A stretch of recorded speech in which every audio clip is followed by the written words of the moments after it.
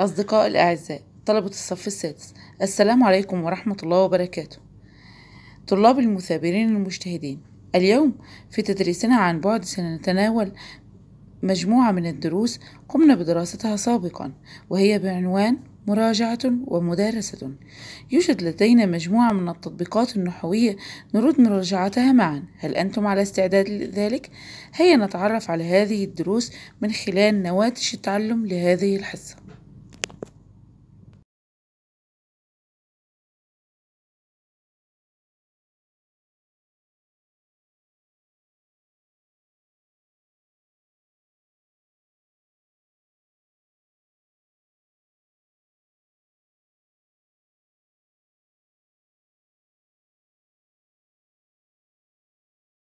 نواتج التعلم لهذه الحصة أن يصبح المتعلم قادرا على التمييز بين الجملة والتركيب.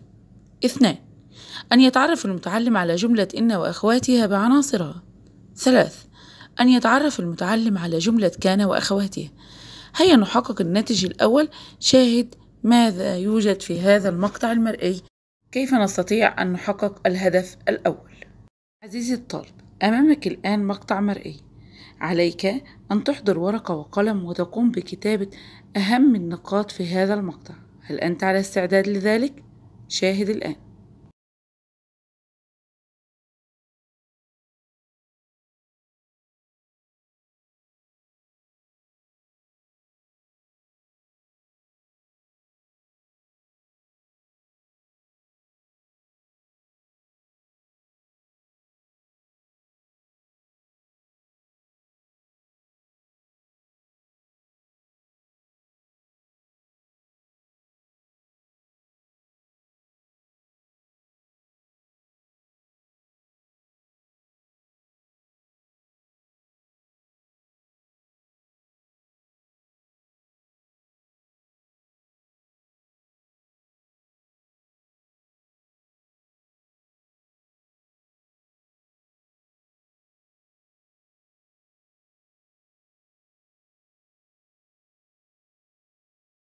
السؤال الآن حول ماذا يدور الموضوع المقطع المرئي؟ أحسنت الفرق بين الجملة والتركيب نرى أن الجملة هي أصغر نواة تؤدي معنى كاملا وتتكون في أبسط صورها إما من مبتدأ وخبر إذا كانت اسمية وفعل وفاعل إذا كانت فعلية أما التركيب فيتكون التركيب من كلمتين أو أكثر لكنه لا يؤدي معنى تاما وهذا هو الفرق بين الجملة والتركيب. الجملة تعطيني معنى تام أما التركيب لا يعطيني معنى تام. هيا انتبه معي الآن لنرى موضوع آخر للمراجعة. تابع معي.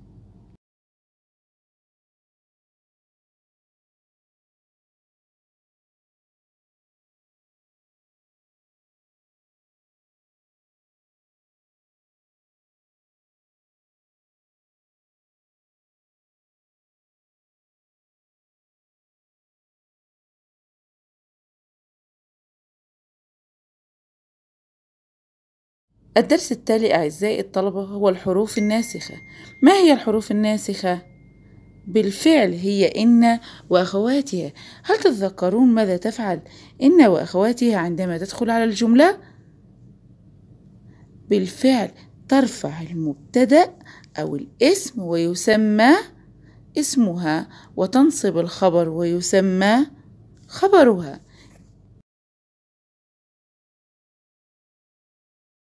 حان وقت تعداد إن وأخواتها انتبه معي. أخوات إن هي إن أن لكن كأن ليت لعل.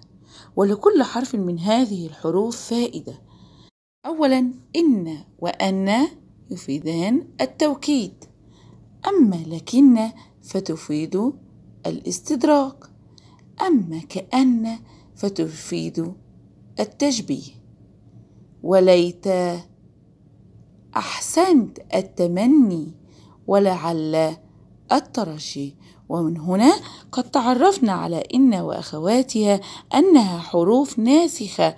وظيفتها يا أصدقائي أن تنصب المبتدأ ويسمى اسمها وترفع الخبر ويسمى خبرها. وقمنا بتعداد إن وأخواتها هيا نرى ما هو الدرس التالي للمراجعة ويقوم بالتطبيق في نهاية الحصة.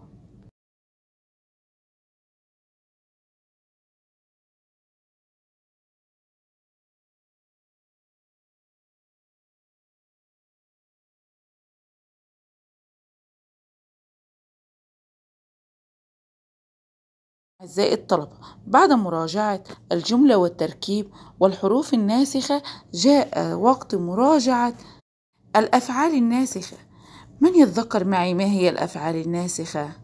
بالفعل هي كان وأخواتها هل تتذكرون ما هي وظيفة كان وأخواتها؟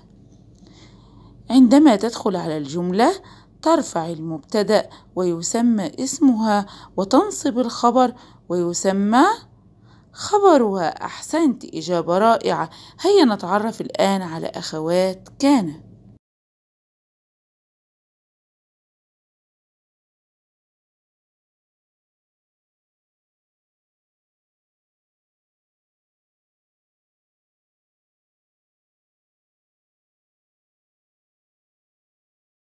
أعزائي الطلبة بعد مراجعة الجملة والتركيب والحروف الناسخة جاء وقت مراجعة الأفعال الناسخة من يتذكر معي ما هي الأفعال الناسخة؟ بالفعل هي كان وأخواتها هل تتذكرون ما هي وظيفة كان وأخواتها؟ عندما تدخل على الجملة ترفع المبتدأ ويسمى اسمها وتنصب الخبر ويسمى خبرها أحسنت إجابة رائعة. هيا نتعرف الآن على أخوات كان.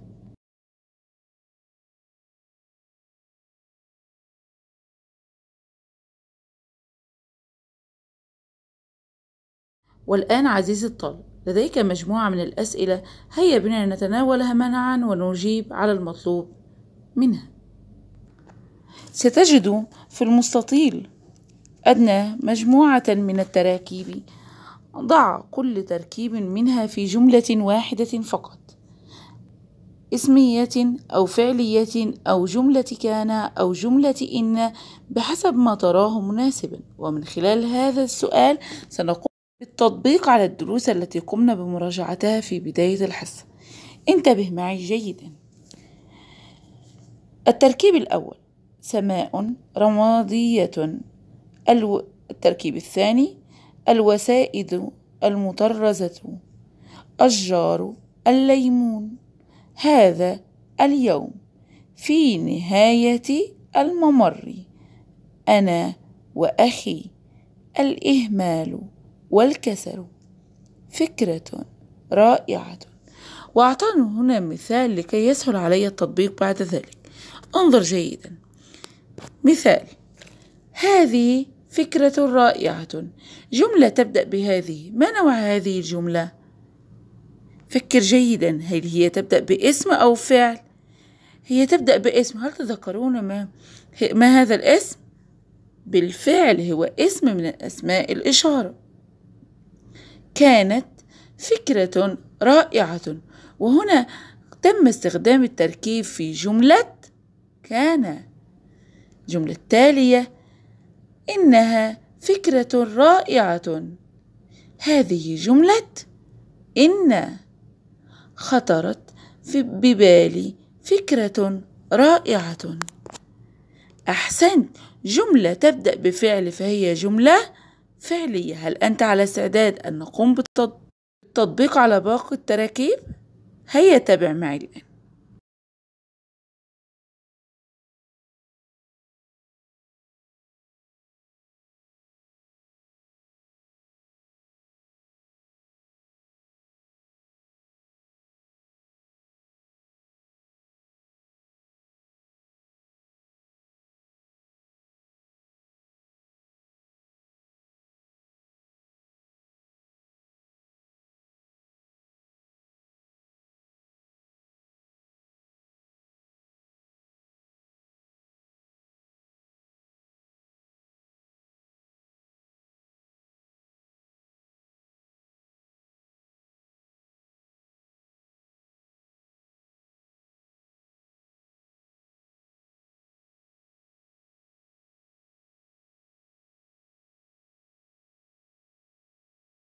والآن يا بطل يوجد لديك مجموعة من التراكيب أريد أن تحولها إلى جمل تامة المعنى وأن تبين نوعها. المثال الأول أو التركيب الأول سماء رمادية. هل أعطتك معنى تام؟ لا ولكن عندما أقوم بتحويلها إلى جملة إن السماء رمادية. انتبه من التشكيل جيدا السماء رمادية. تنصب المبتدأ وترفع الخبر. أصبحت الآن جملة إن ولها معنى تام. الوسائد المطرزة تركيب لا يوجد له معنى ولكن عندما أقول أحب الوسائد المطرزة أعطتني جملة كاملة. التركيب التالي أشجار الليمون. أشجار الليمون خضراء. هيا ننظر إلى هذه الجملة. جملة تبدأ بأشجار. ما نوع هذه الكلمة؟ بالفعل هي اسم والجملة التي تبدأ باسم فهي جملة اسمية. هذا اليوم. تركيب لا يوجد له معنى بمفرده ولكن عندما أقول هذا اليوم جميل. بالفعل هي جملة اسمية بدأت باسم من أسماء الإشارة. في نهاية الممر. فهمت شيء من هذا التركيب؟ لا. كان اللص في نهاية الممر. جملة كان. أنا وأخي. أنا وأخي أصدقاء. هذه جملة تبدأ بضمير ضمير ما نوع هذا الضمير؟ بالفعل هو ضمير من ضمائر المتكلم. ما هي ضمائر المتكلم؟ أنا ونحن. بالفعل إذا هي جملة اسمية. نأتي الإهمال والكسل.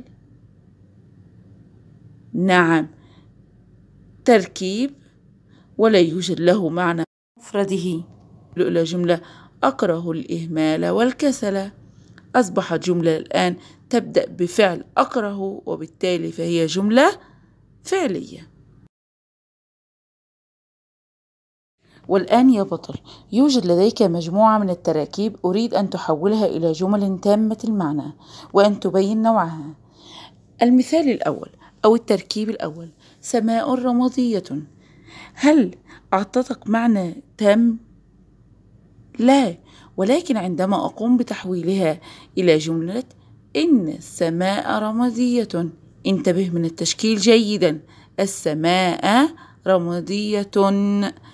تنصب المبتدأ وترفع الخبر. أصبحت الآن جملة إن ولها معنى تام. الوسائد المطرزة. تركيب لا يوجد له معنى ولكن عندما أقول أحب الوسائد المطرزة؟ أعطتني جملة كاملة. التركيب التالي أشجار الليمون. أشجار الليمون خضراء. هيا ننظر إلى هذه الجملة. جملة تبدأ بأشجار. ما نوع هذه الكلمة؟ بالفعل هي اسم والجملة التي تبدأ باسم فهي جملة اسمية. هذا اليوم تركيب لا يوجد له معنى بمفرده ولكن عندما أقول هذا اليوم جميل بالفعل هي جملة اسمية بدأت باسم من أسماء الإشارة. في نهاية الممر فهمت شيء من هذا التركيب؟ لا. كان اللص في نهاية الممر. جملة كان أنا وأخي أنا وأخي أصدقاء هذه جملة تبدأ بضمير ضمير ما نوع هذا الضمير؟ بالفعل هو ضمير من ضمائر المتكلم ما هي ضمائر المتكلم؟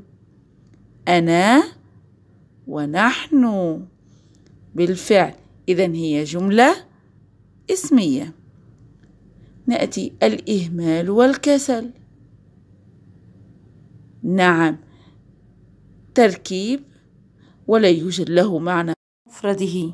إلى جملة أكره الإهمال والكسل. أصبحت جملة الآن تبدأ بفعل أكره وبالتالي فهي جملة فعلية. والآن عزيزي الطالب حان الوقت مع ثانيا. ويطلب مني في ثانيا أن أقرأ الجمل الآتية ثم أحللها إلى أركانها الأساسية وأستخرج من كل منها ما هو مطلوب كما في المثالين ومن المفترض أن يكون هذا العمل في مجموعات ولكن نحاول أن نفسر معا وخطوة خطوة لنصل إلى الإجابة الصحيحة. الجملة الأولى أعزائي الطلب السعادة تسير في خط مستقيم من الصدق والعمل الجاد والإنجاز المثمر. أولا يطلب مني أن أحدد الجملة. أولا الجملة تبدأ بكلمة السعادة وبعد ذلك بدأ تفسير السعادة. هي تسير في خط مستقيم من الصدق والعمل الجاد والإنجاز المثمر. التحليل هنا كلمة السعادة كلمة في بداية الجملة واسم فهي تكون مبتدأ. بالفعل وعندما نتحدث أن بعد المبتدأ مباشرة هناك كلمة تسير في خط مستقيم. بالفعل هو خبر ولكن نوع هذا الخبر جملة فعلية. أحسن. ننتقل الآن على المطلوب في هذه الجملة. تركيب النعتي. ما هو التركيب النعتي؟ هي نتذكر؟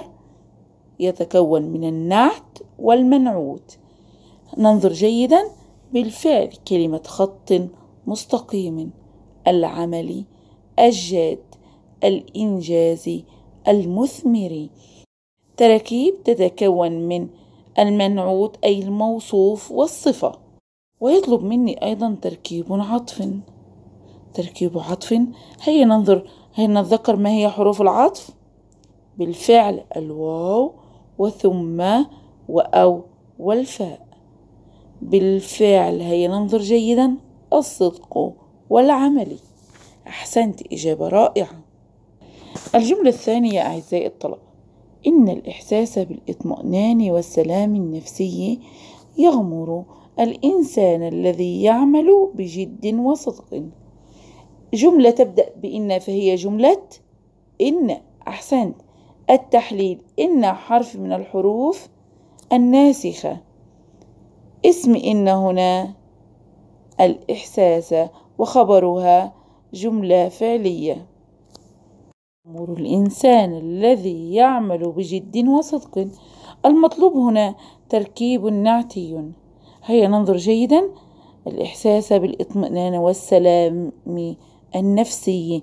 كلمة النفسي هنا قامت بوصف السلام. بالتالي تركيب السلام النفسي هنا تركيب نعتي. المطلوب التالي أعزائي الطلبة هو تركيب عطف. هيا ننظر جيدا عندما يطلب مني أن أبحث عن تركيب عطف. لابد أن أبحث أولا عن أداة من أدوات العطف. بالفعل و. نجد حرف الواو هنا بين الاطمئنان والسلام وبين أيضا بجد وصدق.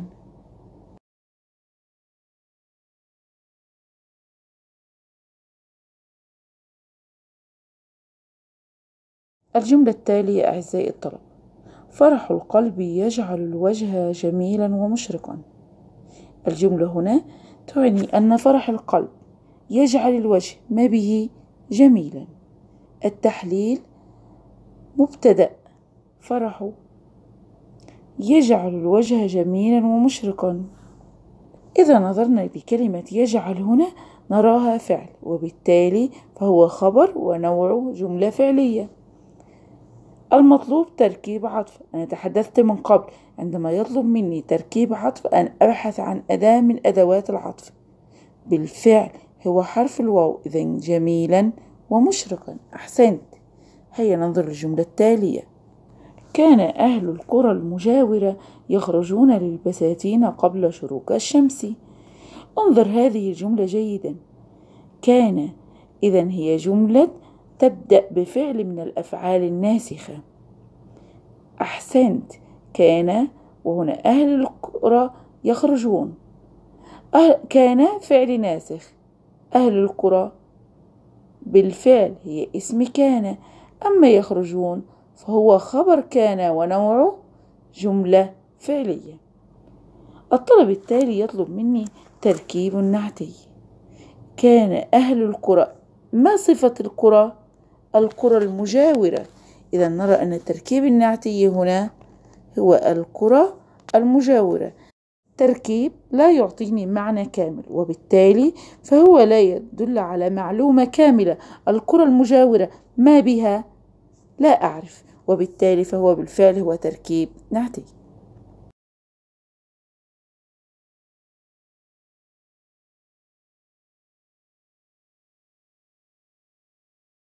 الجملة التالية أعزائي الطلبة صارت قافلتنا الصغيرة في سكون مطبق.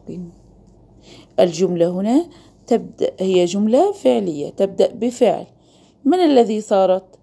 قافلتنا. هل تذكرون التاء هنا؟ تاء ساكنة فهي تاء التأنيث. أحسنت. بالفعل صارت قافلتنا. هذه هي الجملة. التحليل فعل وفاعل. المطلوب تركيب النعتين انتبه جيدا. ما صفة السكون هنا؟ بالفعل هو مطبق أي تام. هل هذا التركيب عندما أقول سكون مطبق هل هذا يعتبر تركيب النعتي؟ نعم. من النعت والمنعوت. النعت هنا هو مطبق والمنعوت هو سكون. أحسنت أحسنت. هيا الآن ننتقل للجملة التالية. كانت أشجار الزيتون والرمان ترتعش تحت ريح الفجر الباردة. جملة تبدأ بكان فهي جملة كان.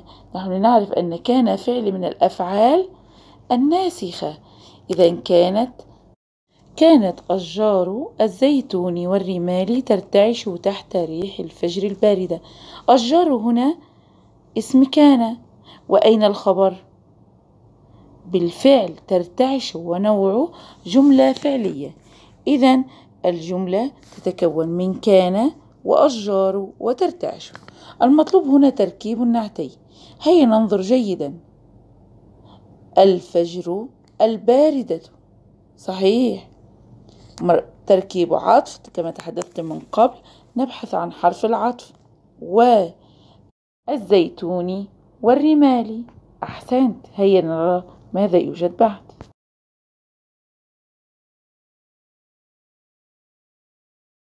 تالي أعزائي الطلبة أخرج الرجل من حقيبته الجلدية المهترئة أوراقا مبعثرة وملفا بلاستيكيا أزرق.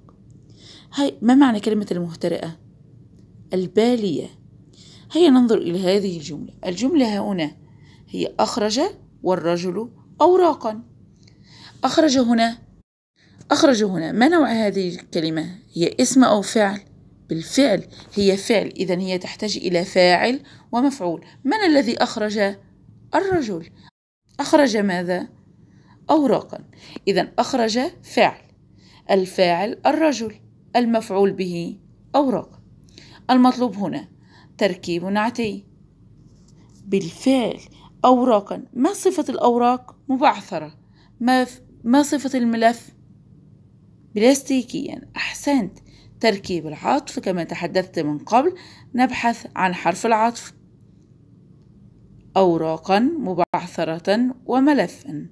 أحسنت. إجابات رائعة. ولكن الحصة القادمة سنقوم بمراجعة تركيب النعتي وتركيب العطف بشكل أوضح وأكبر إن شاء الله.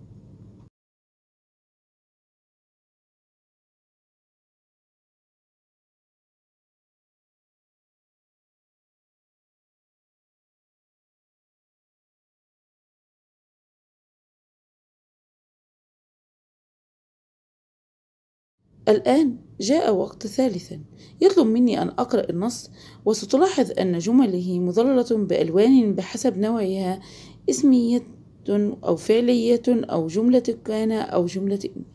ويطلب مني التطبيق في الصفحة التالية. هي نقرأ الصف... النص في الصفحة التالية مباشرة. بقيت على ضفة النهر يومين وليلتين. أقاوم كل رغبة بالالتحاق بالتلال وأرفض النظر إلى المياه الهادرة من حولي. وعندما بزغت شمس اليوم الثالث ودب النشاط في أوصالي من جديد نهضت بللت أطرافي وأنا أنظر إلى الضفة المقابلة في رهبة وشوق. ثم تشجعت وانحدرت. كنت في المياه. كنت أنوي قطع المنطقة القريبة لكن شوقي إلى بلوغ الضفة الأخرى. كان أشد وأقوى. انتبه معي جيدا. انظر للجملة الأولى. بقيت على ضفة النهر يومين وليلتين. هذه الجملة ننظر إلى كلمة بقيت. هي اسم أو فعل. بالفعل هي فعل. والتاء هنا تاء متحركة. وتحدثنا إذا اتصلت التاء المتحركة بالفعل فهي في محل رفع فاعل. إذا هي نوعها جملة فعلية. بقى فعل والتاء تاء الفاعل. الجملة التالية. أقاوم كل رغبة بالالتحاق بالتلال أقاوم. ما نوع هذه الجملة؟ بالفعل هي فعلية. والفاعل من الذي يقاوم؟ أنا. إذا الفاعل هنا ضمير مستتر تقديره. أنا. الجملة التالية أرفض النظر إلى المياه الهادرة من حولي. أرفض ما نوع هذه الكلمة؟ فعل فإذا هي جملة فعلية. الفعل أرفض والفاعل أنا. ضمير مستتر تقديره أنا. بزغت شمس اليوم الثالث. ما معنى بزغت؟ أي ظهرت. بزغت هنا ما نوعها؟ بالفعل إذا هي جملة فعلية. من بزغ الشمس؟ إذا هنا الشمس فاعل بالفعل. ننتقل للجملة التالية. دب النشاط في أوصالي من جديد. دب فعل والنشاط هو الفعل الجملة التالية نهضت. من الذي نهض؟ بالفعل. نهض هنا فعل وهي جملة فعلية والتاء تاء الفعل أحسنت هيا ننتقل للجملة التالية. رجاء نقل الإجابات بخط مرتب وجميل. وتذكر جيدا أن الجملة الفعلية تبدأ بفعل والجملة الإسمية تبدأ باسم وجملة كان تبدأ بكان أو أحد أخواتها وجملة إن تبدأ بإن أو أحد أخواتها. انتبه معي للجملة التالية.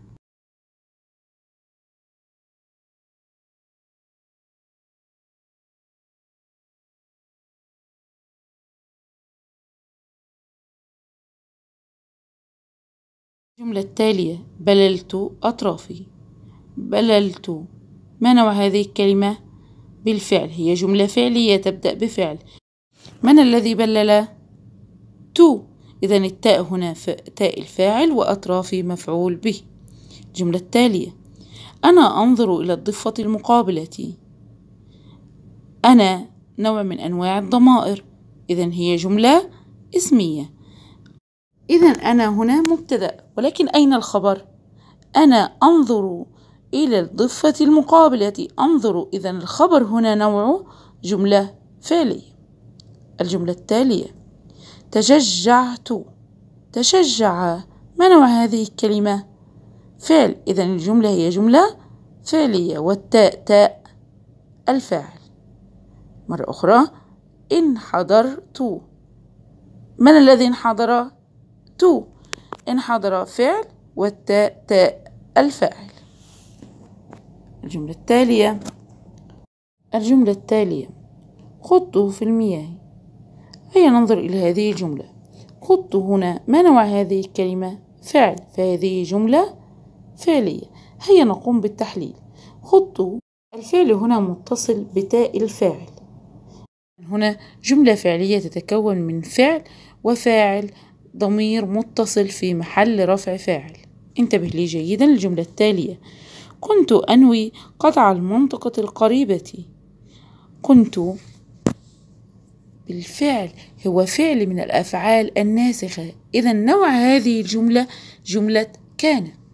كان فعل ناسخ والتاء اسم كان وأنوي خبر كان جملة فعلية. الجملة التالية.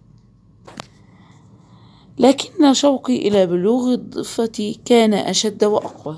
لكن لكن هذه بالفعل أحد أخوات إن إذا نوع هذه الجملة هي جملة إن. لكن حرف ناسخ وشوقي اسم لكن. والآن أعزائي الطلبة هيا نتذكر ما قمنا بمراجعته في هذه الحصة والتطبيق عليه. أولا الجملة والتركيب. ثانيا إن وأخواتها ثالثا. كان وأخواتها وتم عرض أيضا أنواع الجمل من اسمية وفعلية.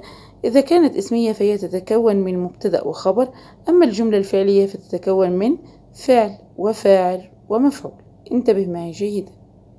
الآن عزيزي الطالب جاء دورك بعمل متميز وهو أكتب فكرة عن دولة الإمارات العربية المتحدة مستخدما الجمل الإسمية والفعلية وجملة كان وجملة إن ثم قم بإرسالها على برنامج الواتساب. أنا في انتظار كتابة فكرة مميزة لطلاب متميزين. شكرا على حسن استماعكم.